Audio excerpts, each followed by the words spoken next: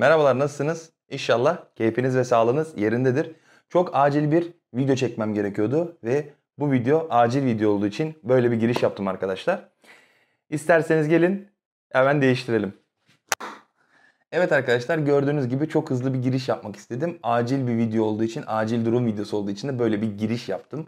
Gördüğünüz gibi iPhone 12 Pro'yu daha inceleyemedim. İncelemesini yapıp kanala atamadım. Fakat beni daha çok heyecanlandıran bir makineyle, bir cihazla giriş yapmak ve incelemek istedim. Bu cihaz geçtiğimiz günlerde Apple tarafından üretilen, Apple tarafından çıkarılan chipsete ait olan yani işlemci ait olan M1 işlemcili MacBook Pro. Geçtiğimiz günlerde Apple 3 tane cihaz çıkardı arkadaşlar. Mac Mini, MacBook Air ve MacBook Pro.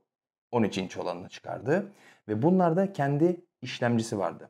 Apple önceden Intel'in işlemcisini kullanıyordu. Yani i5, i7 ve i9 işlemcileri kullanıp AMD'nin de grafik kartını kullanıyordu laptoplarına. Fakat şimdi kendi chipsetini üretti. Bu chipsetin de en büyük özelliklerinden bir tanesi fansız çalışıyor olması yani ısınmaması. Yani bana göre bilim ve teknoloji alanında büyük bir devrim. Bilgisayar sektöründe büyük bir devrim. Intel ve AMD'ye nazaran ısınmayan bir işlemci üretmiş olmaları çok güzel bir devrim niteliğinde bir teknoloji olarak düşünüyorum. Meraklanıp heyecanlandığım için MacBook Pro 13'ün incelemesini yapacağım arkadaşlar. İncelemeye geçmeden önce Freddy arkadaşıma çok teşekkür ediyorum. Çünkü o bana yardımcı oldu bu inceleme ile ilgili. Bu kadar hızlı incelememle ilgili. Şimdiden ona çok teşekkür ediyorum. İsterseniz ufak tefek özelliklerinden bahsedeyim size yeni ürünle ilgili. Daha sonrasında kutu açışımıza geçelim. Yüklenmesi gereken uygulamaları ve programları yükleyelim ve çok merak edilen testlerine geçelim. Bu testler nedir? Kesinlikle Premiere Pro render testi yaparız bir tane. Bir tane oyun yüklerim. Benim en çok kullandığım oyun CSGO'yu yükleriz. Onun testini yaparız. Kaç FPS alıyor görürüz. Photoshop, Lightroom bu tarz uygulamaları da yükleyeceğiz. Bu şekilde daha sonradan da videomuzu sonlandırırız. Öncelikle biraz sizlere cihazdan bahsedeyim. Cihaz söylediğim gibi M1 çip setiyle birlikte geliyor. Yani Apple'ın kendi üretmiş olduğu işlemci ile birlikte geliyor. Bu işlemcinin üzerinde 8 tane çekirdek var. CPU çekirdeği var. 8 tane de grafik çekirdeği yapmışlar. Yani 8 tane grafiğe özel bir çekirdek, 8 tane de kendi çekirdeği var. Apple der ki önceki MacBook 13 inçlerime göre 2.8 kat daha hızlıyım. Grafik olarak da 8 kat daha hızlıyım der. Ve 20 saatlik bir bizlere pil ömrü sunar. 20 saat inanılmaz bir süre arkadaşlar. Bence bu neden 20 saat oldu? Fan süresi düştüğü için, CPU ısınmadığı için, fazla CPU'yu soğutmak için enerji harcanmadığı için pil süresi arttı. 20 saati nasıl veriyor? Wi-Fi ve bütün hücresel veriler kapalıyken, Wi-Fi, Bluetooth vesaire her şey kapalıyken video izleyerek video modunda 20 saat video izleyebiliyorsunuz. Yani bu bir çılgınlık, inanılmaz bir şey arkadaşlar. Bakalım çok heyecanlıyım. Ben de meraklıyım. Açalım kutumuzu. Aslında kutuyu böyle açmak için dillendirmek istemiyorum arkadaşlar. İçerisinden 3 parça şey çıkıyor. Hatta 4 diyelim ona. Stickerlar, Apple elma stickerları. Kablo, adaptör ve makine çıkıyor. Ama gene de biz düzeni bozmayalım ve gelin kutumuzu yavaşça açalım. Torbamız bu. Ve karşınızda MacBook, MacBook Pro. Evet arkadaşlar arkasında 8 GB. Bu arada bu gördüğünüz ürün en düşük paketli olan ürün. Bu 8 GB RAM'li olanı ve 256 GB SSD'li olanı. Siz bunu yükseltebiliyorsunuz. 16 GB RAM yapıp 2 TB'a kadar sanırım ya da 1 TB'a kadar hard diskini arttırabiliyorsunuz. Bu en düşük paketi ve fiyatı 14.299 TL. Gelin şimdi ürünü açalım. Bu arada çok güzel bir şeyle karşılaştım. Sizlerle bunu paylaşmak istiyorum. Apple Store'da ürünü alırken 16 GB'ını istedik. Arkadaşım 16 GB'ını istedi. Fakat Store'da yoktu ve 512'liğini istedi. Store'da yoktu. Apple Store'un elinde yoktu. Şöyle bir alternatif sundular. Apple yeni chipset ürettiği için yeni chipset ürettiği için insanların bunu denemesini istiyor. Ve bu chipsette inanın 16 GB RAM'e ihtiyacınız yok dedi oradaki çalışanlar ve 8 Ocağı kadar deneme süresi verdiler. 8 Ocağı kadar cihazı kullanacağız. 8 Ocağı kadar eğer RAM bize yetersiz gelirse ya da alan bize yetersiz gelirse 256 GB SSD yetersiz gelirse cihazı kutusuyla beraber götüreceğiz. Üzerine farkını verip daha yüksek RAM'li ve SSD'li olanını alabileceğiz. Çok güzel bir avantaj bence. Öyle değil mi?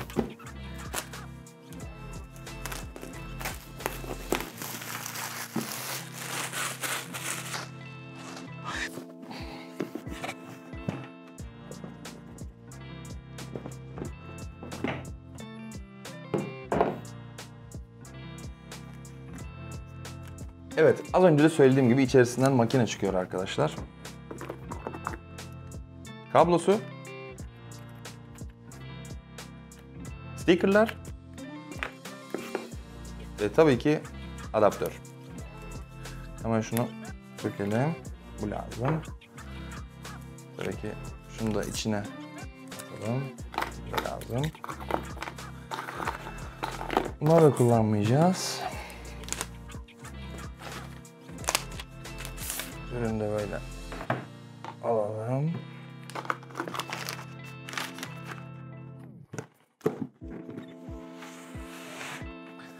Ama kutumuz yanımızda dursun. Hiçbir yere ayrılmasın. Evet şimdi sizlerle birlikte Evet şimdi birlikte kapağı açıyoruz ve içerisinden bir folyo daha çıkacak. Açtık. Pum. Açıldı bile. Evet arkadaşlar gördüğünüz gibi cihaz açıldı. Şimdi benim yapmam gereken işlemler var. Bunu hepiniz biliyorsunuzdur. Açılışını yapacağım. iCloud ID'mi gireceğim vesaire vesaire. Daha sonradan Lightroom, Photoshop, Premiere Pro, Lightroom, Photoshop, Premiere Pro.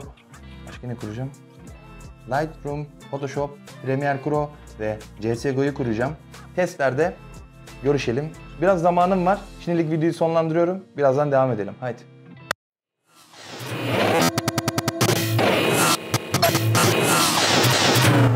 Evet arkadaşlar isterseniz kaldığımız yerden kaldığımız hızla devam edelim. Sizler için ben buraya CSGO'yu yani Counter Strike'ı indirdim. Bir oyun olması adına.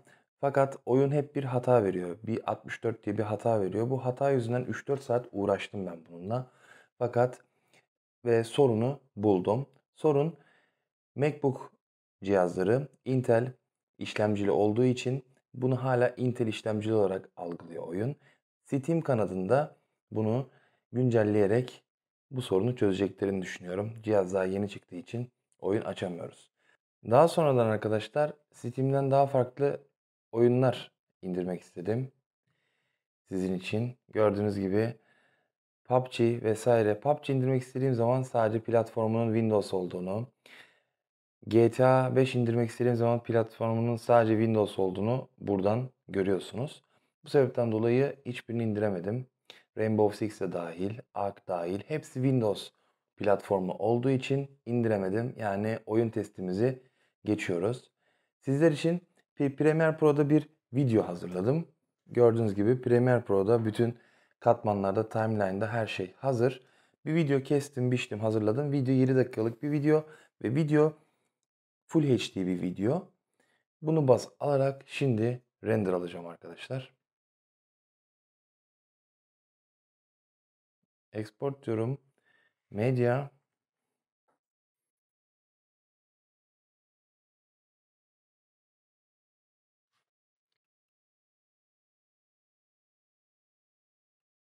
Buradan H264'ü seçtim.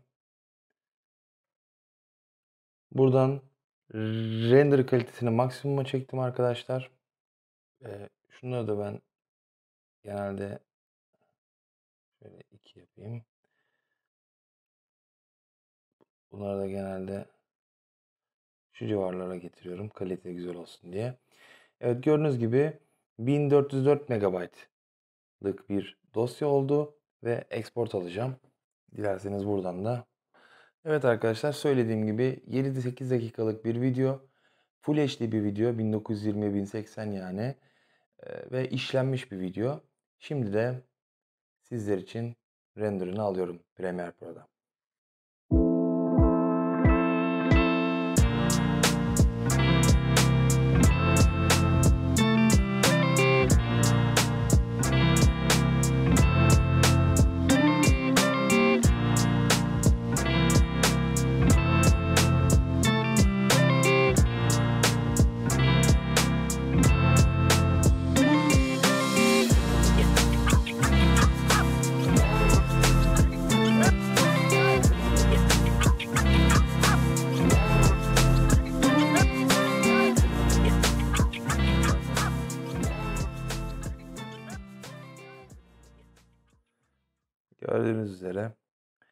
32 dakika 19 saniyede 1920'lik bir video editini Premiere Pro ile editlenmiş bir videoyu 32 dakika 19 saniyede tamamladık arkadaşlar. İsterseniz gelin videomuza devam edelim. Evet arkadaşlar baya bir bitkin durumdayım sanırım. Öyle görünüyor. 3-4 saat oyun yüklemekle uğraştım. Sürekli 64 kodu adı altında bir hata aldım ve bu hatayı araştıra araştıra 3-4 saat sonunda bulabildim. Steam arayüzü yani oyun yüklediğimiz yer bilenler biliyordur. Steam arayüzü hala MacBook Pro cihazlarının sadece Intel işlemciyle çalıştığını düşünüyor. Yani bir güncelleme yapmamışlar. M1 chipset için herhangi bir güncelleme olmadığı için hep sürekli oyunlar hata verdi. O yüzden dolayı yükleyemedik ama Adobe kısmında Premiere Pro, After Effects, Lightroom, Photoshop hepsini yükledim. Hepsi çatır çatır çalışıyor. Renkler muazzam, inanılmaz güzel. Premiere Pro testini zaten birlikte yaptık, birlikte gördük. Render testinin bende aslında Final Cut'ta var. Final Cut testi de yapabilirim. Fakat videoyu en kısa sürede atmak istiyorum. İlerleyen süreçlerde ben de bu cihazla ilgili tecrübe edindikçe daha farklı videolar yapabiliriz. Daha farklı konulara sizlerle paylaşabilirim. Unutmadan direkt sizlere birkaç yerinde göstermek istiyorum. Burada gördüğünüz üzere iki tane Thunderbolt girişi var.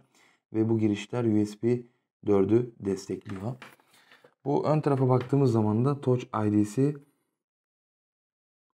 Touch ID bu tarafta. Burada parmak iz okuyucusu var ve Touch barı da burada arkadaşlar. Magic klavyesi var. Ürün bu şekilde. Bu kadar kısa sürede bu kadar inceleyebildim. Tabii ki kullana kullana sizlerle daha detaylarını paylaşacağım. Ama şimdilik bu kadar diyorum. Bugün ayın 18'iydi ben bu video için başladığımda. Şu anda ayın 19 ve gece saat 3. Sanırım 19'u gündüz videoyu kanalıma atmış olurum. Söylediğim gibi az önce de ben bu cihazla ilgili tecrübe edince sizlere tecrübelerimi tabii ki aktarmak isterim.